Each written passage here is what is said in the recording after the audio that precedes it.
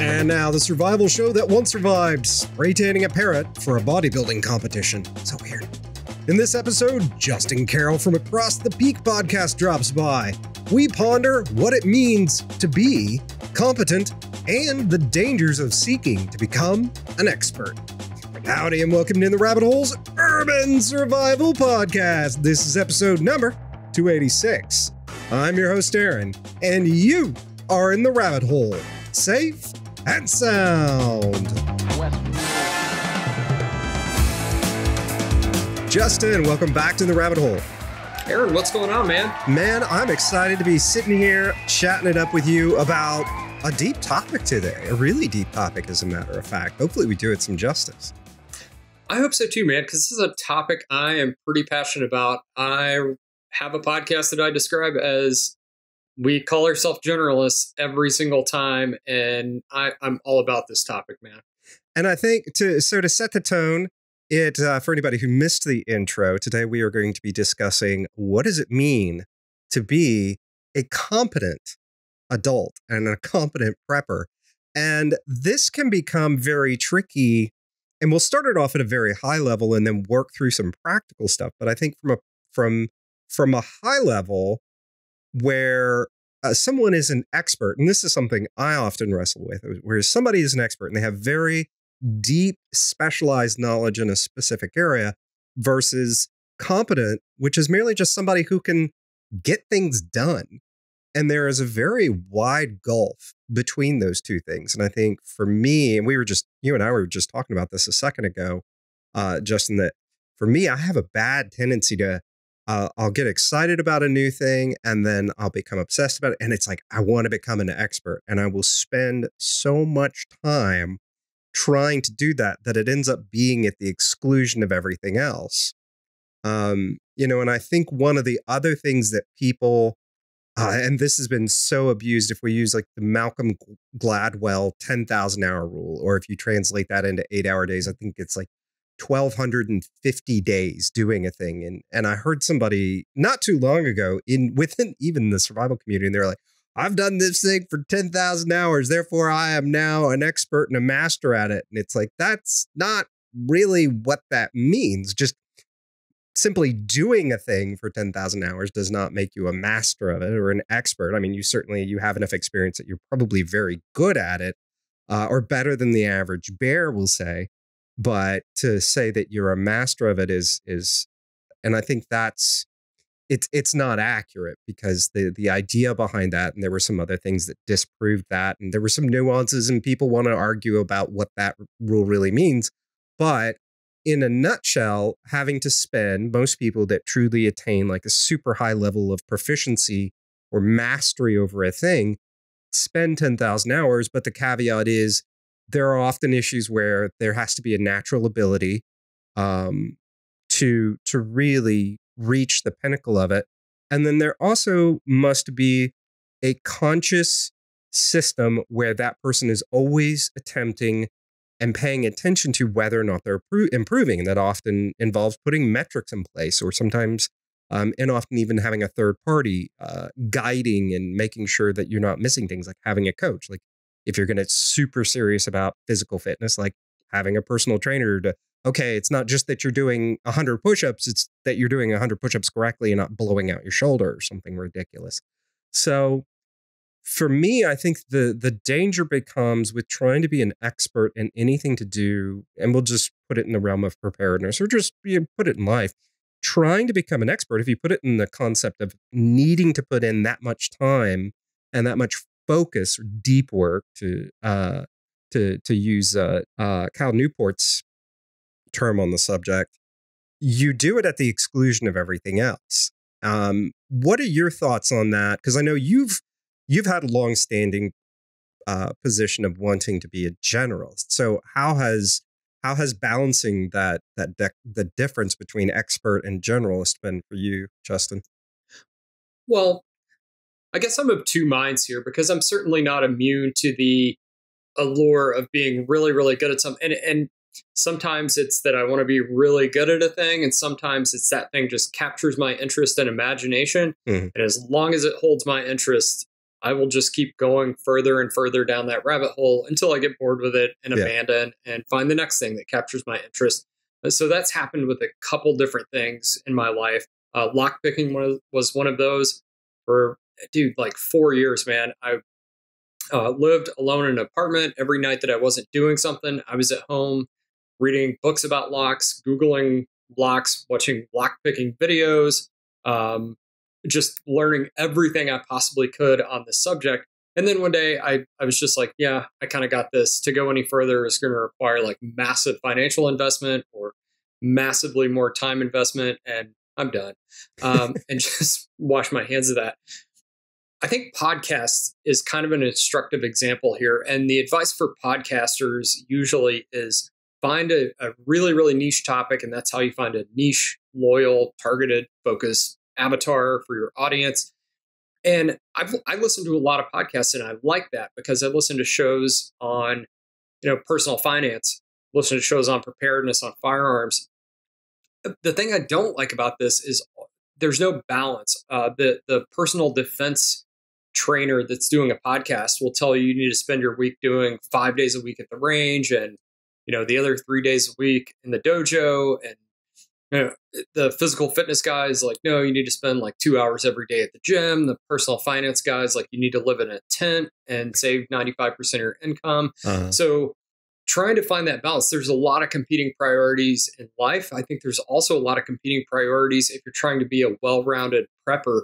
Um, and I, I i think people me included when they immediately get into prepping or start thinking about it they zoom in on guns and ammo and backpacks and a lot of other things get excluded. Uh-huh. And, you know, just trying to bring some, a more well rounded approach to this thing.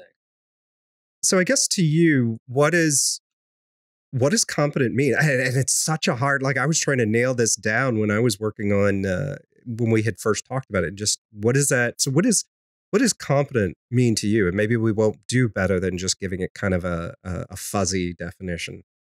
I don't. Yeah, I, I don't know that I can offer much more, like a whole lot of clarity on this. But I do love Dr. Jordan Peterson's, um, I guess, kind of credo that a human being should be competent and dangerous.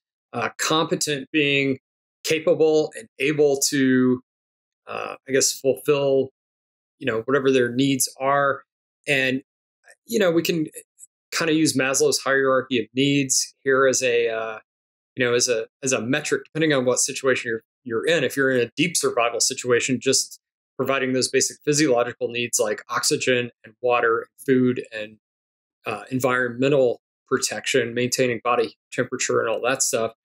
Um, competency would allow you to do that all the way up through the very very highest tier of that, finding self actualization and meeting those creative and moral needs and and that sort of thing.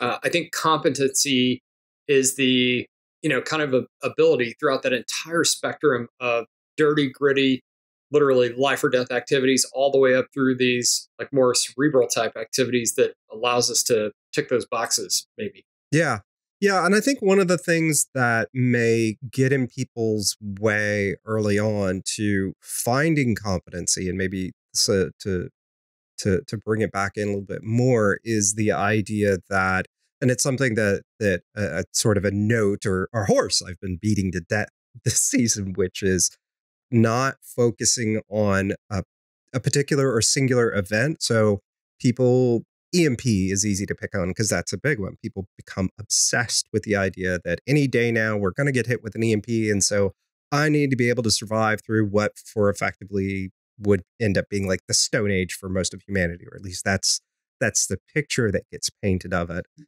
and then going back to the idea of exclusion you you focus on that um, on becoming just amazing at all these different things and trying to cover every last single base rather than just becoming competent enough to survive any situation including the stuff that's likely to happen to you. And then um, but by focusing too deeply, you miss out on all those other things, like we were talking about self actualization, which becomes this sort of, you know, uh, seemingly fluffy idea, but you know that can also be as much as paying enough attention to your wife or husband or kids or or the things that are in your immediate present situation that matter that also require your competency. So, in the realm of survival and preparedness, I know you came up with a pretty good list of things. Let's start working through those as far as what are some things that really people should, in the sense of becoming a competent generalist, be focused on? And, and I know that y'all actually cover a lot of this stuff in your show across the peak. So, uh, so you've had a good opportunity lately to really dive into some of these. But for you, what is that basic list of things that people should cover in their preparedness toolbox? Well, first of all, I, I think kind of the attitude that you should approach preparedness with. And before we go into this, Aaron, I, I'm certainly not the shining example of really any of these things. I, you know, I have time constraints and I get lazy and don't want to go to the gym and everything else just like everybody else. So I'm not uh, trying to hold myself up as I do all these things and I'm perfect at them and you should be like me. Um, but this is kind of how I think.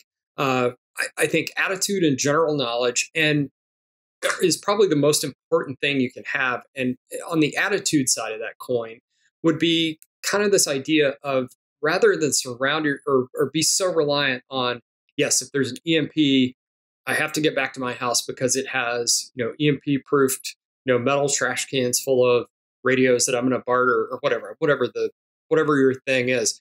And that is fine. That is a prudent thing to want to get back to your house, but uh, rather than focus so much on the equipment and and be in this situation where if you don't have access to that, like, well, I'm I'm screwed. I don't have anything. I kind of try to approach this as a train my mind and train my body to adapt to whatever situation comes uh, my way rather than have to have like this specific list of items. Uh, and I, and I think that's probably honestly a good way to approach just about anything in the in the survival realm. Um, I, have always been a fan of uh, you know fire starting primitive fire starting techniques that don't require any kind of equipment whatsoever. That you can basically just kind of scrounge up in the woods because that is the ultimate self-reliance. You don't need anything. If if uh, let's say you sur- you're lucky enough to survive a plane crash, well, your knife has been taken from you at security. It's in your check bag. It's probably not with you. Your lighter is probably broken and whatever. That's okay because you've trained your body and your mind to be able to overcome that particular adversity. If hmm. that makes sense. That makes perfect sense. And I think that's starting with body. I mean, that is an important one. And it's one that is easy to overlook. And even going back to your point earlier about, hey, this is an ideal or a goal. It's not necessarily uh, something that I think either of us um, would would hold ourselves up and say we are the pinnacle of of any of these things because it's you know life happens and this goes back to why uh, being a generalist uh, and competent as opposed to an expert is important because Otherwise, it's it's unattainable to try to be all of these things all the time. I mean, that's one of the reasons why Hollywood movies about I don't know Jack Reacher or whoever are so entertaining because it that it it is that uh, that mythical achieve all things sort of situation. So in the world of physical fitness, where where do you draw the lines as far as just like what is competent? Well, I, I think there has to be a balance of strength, stamina and endurance, the ability to produce that strength, output that strength for you know over as long a time as possible, and some sort of cardio fitness. In any kind of disaster, in any kind of emergency, even if it's you know even if it's something without immediate, you know, you're not caught in the direct path of a hurricane, but it's some sort of let's say the power goes out and is out for an extended period of time. There's going to be an added element of stress there's going to be reduced climate control. There's going to be all these maybe reduced um, uh, foodstuffs and water and all these other things that if your body is physically fit, it's going to be much more equipped to deal with, let alone the, you know, we're actually running down the street away from the zombies or we're, you know, have to swim to safety or, or whatever it is yeah, those those situations certainly could happen in strength, endurance, stamina, cardio, fitness would all be awesome to have in those scenarios. Um, but anything from the ordinary, mundane, the you know, there's an accident on the highway and you're stuck in traffic for four hours, your body's going to cope with that stress differently, and I would contend better if you're physically fit than if you are not. And that stress is going to be present in any kind of emergency, uh, even if you're the person that is just hungry for this emergency to happen so you can live out your prepper fantasy. I promise you, you will still be stressed. Uh-huh. Yeah, I think that's a good one. And I think it's something that, and, you know, I think a, a lot of people will immediately poo poo that because they're like, oh, well, I'm in this situation. It is what it is. And it's like, okay, but you could do something. Um, and, and I think even little things count. Every little thing you can do. I know for me, I work from home. Um, I don't get to get the physical exercise that I used to get. I just, I just flat don't have time. I don't have time to go spend two hours in the gym, as you were saying uh, a second ago. And so it becomes like, I know one of the things that I'm looking at doing for 2019 is uh, getting a standing desk so that just I'm not sitting for nine, ten hours a day. And some of the other things I've done is I've added, uh, which James Price used to make fun of me, that I have a, a uh, one of the half BOSU ball things here in the office. And while I'm doing stuff or trying to study or just think about something, I'll go stand on the BOSU ball just so that I'm getting some sort of physical exercise beyond my ass sitting on in a chair. Um, and so I think it, it even just little things that matter, especially when it comes to physical fitness. Yeah, and obviously this is a rabbit hole you could go down and end up you know, spray tanning your body and oiling yourself for bodybuilding competitions or yeah. Running ultra marathons or there's 15 different directions you could go here. Mm-hmm. Uh, but I think just a general level of not being overweight, uh, being able to move some weight around and do that, you know, bug out bags are a prime example. And I'm, oh, yeah. I'm kind of on my high horse about this because I've been doing this a lot lately. But um, my my EDC bag that we talked about a few weeks ago I am out with that thing probably at least once a week on some sort of, you know, one, two, three, four, sometimes five or six mile hike. Um, actually getting out and using that thing. If I intend to go overland on foot with that thing, I need to be able to move it and I need to be able to move myself without it just crushing my spirit just to get myself from point A to point B. So you're you're right, man. Some sort of I don't have two hours every day to spend in the gym. My goal is three days a week. My girlfriend's goal is three days a week we don't always hit our goals. A pro tip if you want to force yourself to get a little bit more exercise, an easy way to do that is to get three dogs because they have to go out several times a day. Yeah, yeah, I think uh, that's true. I think uh, one of the times where I had two dogs, two two Weimaraners at the same time, and that definitely forced me to get out more because otherwise they were just going to be in my business constantly. So uh, so moving on from physical fitness, what would you say would be another area that people should focus their attention in becoming competent? You know, one one other thing I would throw on physical fitness is dental health because I've had mm. uh, I've had a dental emergency, and uh, even if you're unable to get to the dentist for 24 hours, you're going to be pretty friggin' miserable. Um, if if you're not seeing a dentist on a regular basis or have dental problems, I would say get on top of that stuff. Take care of your damn teeth. Um, anyway, side side rant there. Um, you sound like my wife, but uh, yeah, yeah. Um, I would say the next thing is some sort of actual professional training as a driver of a motor vehicle. And I stole this one from a guy named Sherman House. Dr. Sherman House wrote a paper that became very, very popular called The Civilian Defender. And he had eight bullet point things that everyone who's a competent civilian defender uh, should need to know. And I'll, I'll send you a link to his article on that. And this was one of his that doesn't come up in any self defense training really at all. I I agree with him. I think this is one of the most important things you can train yourself to do. We're all driving several thousand pound potential weapons. Uh, we all have thousand pound potential weapons coming at us for at least most of us half an hour a day, mm-hmm. 45 minutes a day. Um, but none of us have had any training on it since high school, and we all think we're good. We all think we're above average. Um, this is something we do every single day that is a life and death threat potentially. Uh, and then some sort of professional training and defensive driving probably massively more likely to need that than you are to actually need any sort of firearm skills. Uh, yet people pay. I, I, do it, man. I love the edutainment classes. Mm-hmm. Um, I, I, love going to shooting courses because they're fun. They're not as fun as driving courses, or they're probably more fun, more attainable, and less expensive than driving courses. So I go to more shooting courses. But uh, I've been to two five day professional driving courses. I think these are incredibly important, man.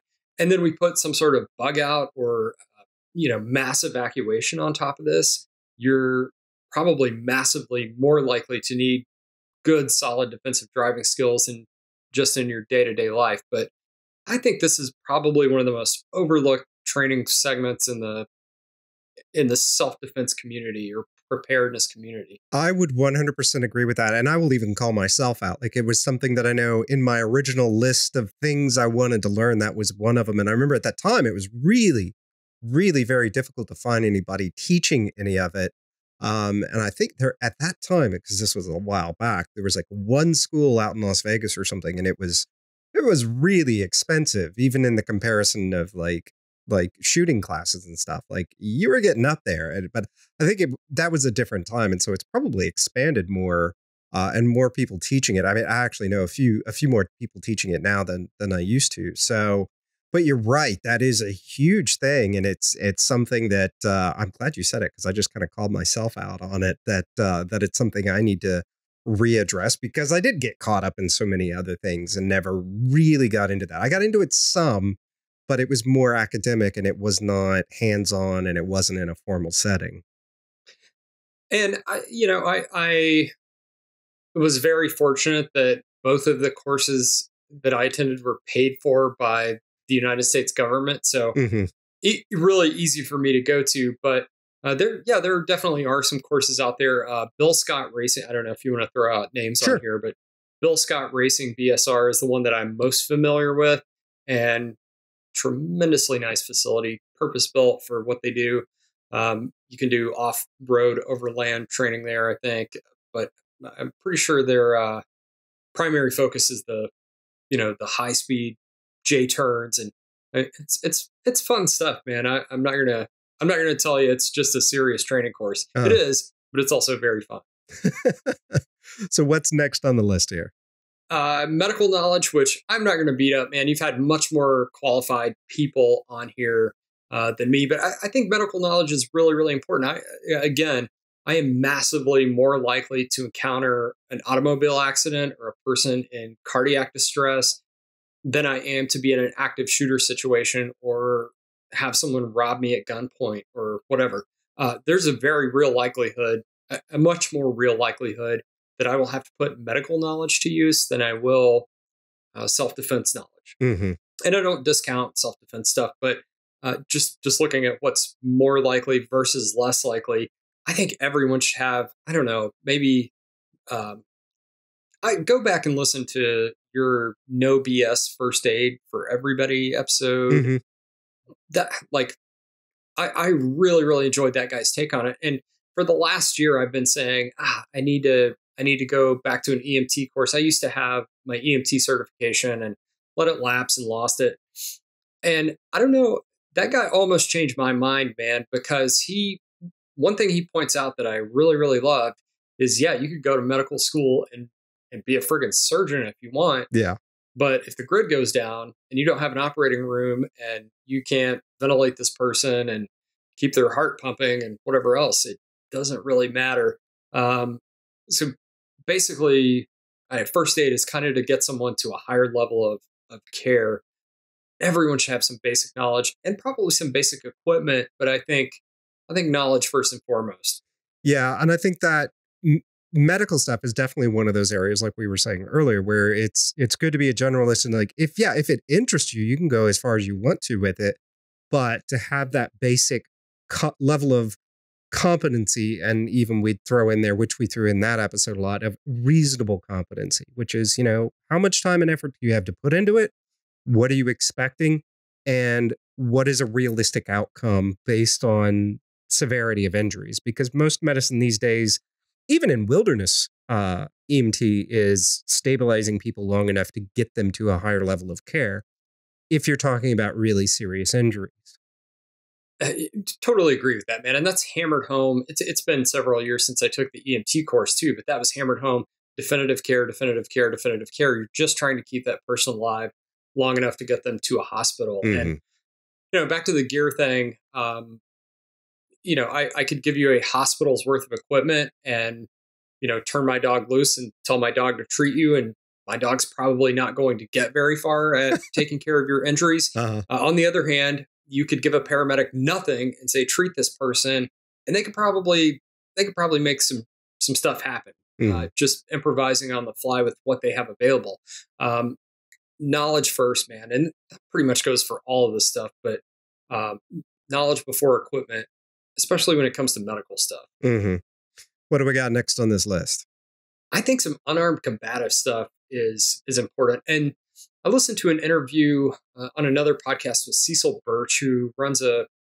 I, I don't know him. I've never been to any of his training, but he runs a company called Immediate Action Combatives. It's basically this gun grappling system. And one thing I he said that I found really interesting is this is kind of gaining acceptance. Ten years ago, if you'd gone on a gun forum and said, "Oh, you need some combatives," all the gun guys would have been like, "Nope, I got a gun.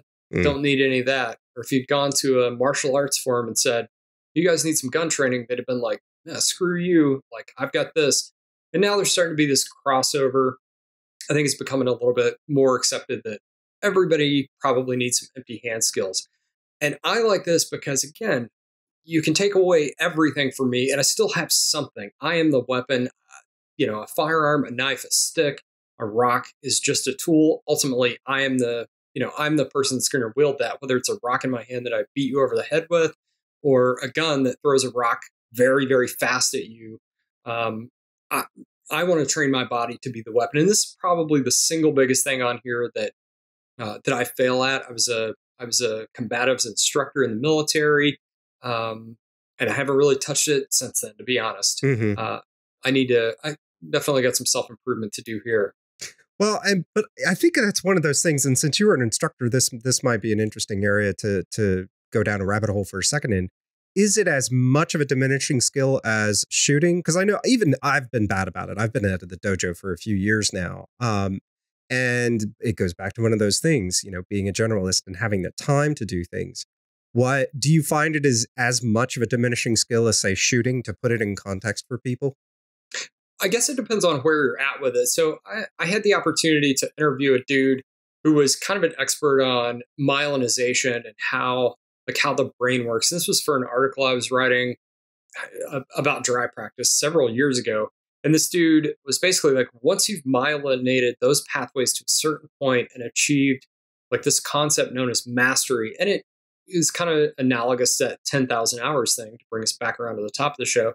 Um, once you have achieved what is recognized as true mastery of a skill, be it hammering a nail, playing a violin, shooting a gun, uh, whatever it is, that skill skills degrade, but that skill will never degrade past about 80% of your peak performance. So at any hmm. point, if you if you bang nails for 30 years, you could take 20 years off, pick up a hammer, and be probably better than most people banging those nails. So I think that's kind of where I got with shooting in the military. I did a ton of pistol shooting, probably probably 100,000 rounds of 40, uh, 45 under like this intense training environment. And it was competitive with, you know, all your teams. You, know, people are going to yell at you if you didn't do good enough. You might get dropped. There's all these elements creating this atmosphere where you learn stuff really, really well. I don't think I ever got to that point with uh, with any kind of martial art or empty hand combatives. I think it's possible to do that, but I have not. I, am not even close to that. Mm-hmm. So probably, yeah, I probably I get my butt kicked right now by just about anybody. well, and I guess it also depends it's it's context, and this goes back to competent versus expert. Is you know who are we talking about? You're going up against, so it makes sense. Um, so less lethal options. Uh, God, man, I I wrote a wrote an article on my revolver blog a few months back about pepper spray, and I think we might have talked about this in the last episode yeah, too, but yeah, just like everybody else, man, I completely disregarded this. And now I am a convert. There's a can of pepper spray in my car. There's like one in all of my coat pockets. There's pepper spray everywhere around my house now. I wrote this article and people in the comments are like, ah, yeah, maybe I'll start doing that. There wasn't this enthusiastic, like, yeah, man, I'm dropping the ball on this. I need to get on it. And I can't figure out why. Well, it's just not as cool as guns. It's just not as cool. Yeah. Yeah, yeah. So, uh, so guns. Um, I'll be honest, man. I love shooting the rifle. I love rifle courses, carbine courses. I love, you know, turning turning money into noise with my AR-15. Mm-hmm. But uh, I think uh, I think probably about 95% of the effort needs to be focused on whatever your carry handgun is. It's it's fun to shoot the other guns too, the Desert Eagle and what and I don't know whatever you got. But uh-huh. uh, that M&P Shield, that LCP, that Smith and Wesson J frame, whatever you actually carry is probably what you should be shooting at the range every stinking week. What you should be dry practicing with, and um, you know I think that's probably what most people shoot most of the time. Mm-hmm. Mm-hmm. Uh, so finally, man, like I would just say, kind of some some general life skills. Um, the ability to cook a meal sounds kind of silly until you have bugged out to the mountains and you killed that wild game and everything everything in your bug out plan to go to the woods and live off the land is succeeding perfectly and then you have that meat and you don't know what the hell to do with it the ability to actually clean an animal and turn it into something that you can put in your body for fuel, uh, I think is pretty important. Things like sewing, things like the ability to build and maintain a fire. Um, I've referenced this a couple times before, and maybe on podcasts, maybe in just conversations with you. But I have a friend that's super into prepping, really smart guy, really knowledgeable guy. He spends a lot of money on equipment. And I was like, when's the last time you built a fire? And he's like, oh, I don't know, man. It's probably been, I don't know, 10 years um, that's probably not the right answer. Uh, mm-hmm. That's one of those really, really basic life skills. Um, the ability, you know, just general knowledge. Um, I, I would take someone with a really, really broad background over an expert in nuclear physics because that person with a broad background probably look at, you know, probably has a little bit of a mechanical ability, maybe knows a little bit about electricity, a little bit about plumbing, carpentry, whatever it is eclectic liberal arts kind of background is is useful for more than just a, a useless degree on your wall. Um, I'm sorry to anybody that has liberal arts back. Like I, I think that's a really useful thing, man. And mm-hmm. I think mm-hmm. there there is a reason that that that that was the original idea for colleges to or university is to expose you to all these different things because I think it influences thought thought processes and creativity and you know, creativity sounds kind of lame on a prepper podcast, but um, creativity in a in a situation where you don't have a lot of equipment to work with, you don't have a lot of supplies or resources. Creativity is a really really good thing to have. Yeah, well, and I think that's so like creativity, innovation, uh, any of those things in that so improvisation. That's word I was looking for. Any of those things in that moment. I mean, it's you know, improvisation is is generally known as to be a huge thing, and I think but what most people don't realize is improvisation requires a lot of creativity. So anything you can do to get as many areas of knowledge to supplement that that uh, your ability to improvise and then to spur on the creativity it's that's going to be the driving force of being able to improvise yeah totally agree man um, yeah, being being able to look at well, these are the five things I have. None of them have anything to do with the situation that I'm facing, but how can I turn this into something that's going to make my life easier, or going to get me out of this jam, or whatever the case may be. Couldn't agree more. Mm. So, what, what did I miss, man? What do you got? I think that's it. I think you know to to segue us out here a little bit. I know. Uh, speaking of becoming competent in things, you guys I mean, that's that's y'all's thing is a sampling of life and a sampling of uh, of interesting skills. And one of the ones that you covered recently is uh, is going to be uh, homebrewing. And this to me, it's like if I didn't have 10 million other things going on, homebrewing and mead making and all this other stuff is something I would love to get into. Actually, I'd really love to get into distilling if it wasn't, you know, uh, it didn't eventually involve, you know, federal charges for some bizarre, stupid ass reason. But um, but yeah, so tell us about that. Like, and this was one. This was funny because we were talking a little bit. There's a lot of people that listen to the show that I know that that are into mead making. Um, and you said you had looked into it, but you were like, for a little bit more effort, you got into homebrewing. But tell us about that. Tell us about the episode and just what what is your take on and and what has been the takeaway for you in getting into homebrewing? Not that that's what y'all show about. Y'all cover all kinds of stuff, but over at Across the Peak, this is this is what's going on right now Yeah, so we yeah, that episode about homebrewing just came out a week, maybe two weeks ago. And it's one of my favorite episodes. I, I did start out with mead because it's real simple. Take some honey, pour it in some water, and put some yeast in it, and wait. Uh, and I rocked with that for maybe a, a couple of months, made several different batches, and then I discovered I don't really like mead all that much. It, it's okay, it's it's fun when you make it, but um, it, it was more kind of a novelty. And then I looked into brewing beer and found out that it's really not that much more difficult.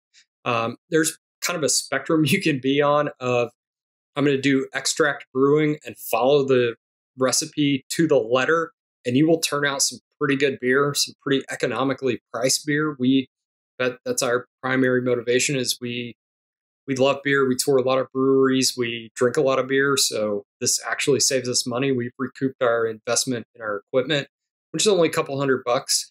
Um, if you're if you're making mead, you don't really need much more than what you already have. So, uh, yeah, my girlfriend and I, this might be a little more difficult if she weren't into it, but mm. she loves it just as much as I do. So it's it's a really really good thing for us. And uh, yeah, that episode just kind of talks about you know kind of why you might want to think about brewing your own beer, uh, the legality of it because there is a little bit of legality still, and then we kind of step through the process. Very cool, man. Well, tell tell the audience one more time what is the name of your show and how can they find it? That is Across the Peak. You can find that at acrossthepeak.com, iTunes, Google, or Android uh, pod, podcast store environment thing, whatever you uh. guys have. Um, yeah, that's it, man. Awesome. Well, Justin, as always, dude, thank you for being on today and uh, helping us uncover what is confident. Thank you, man. Show notes, links, and resources from this episode can be found by going to intherabbithole.com slash E286. Or if you're watching this on YouTube, just look down in the description section below. And speaking of YouTube, if you're watching this on YouTube, be sure to do all that YouTube stuff. Throw us a like, subscribe, and slap that bell around because bananas are yellow. With that, we wrap up episode number 286 from the Lone Star State Till next time, stay safe and sound.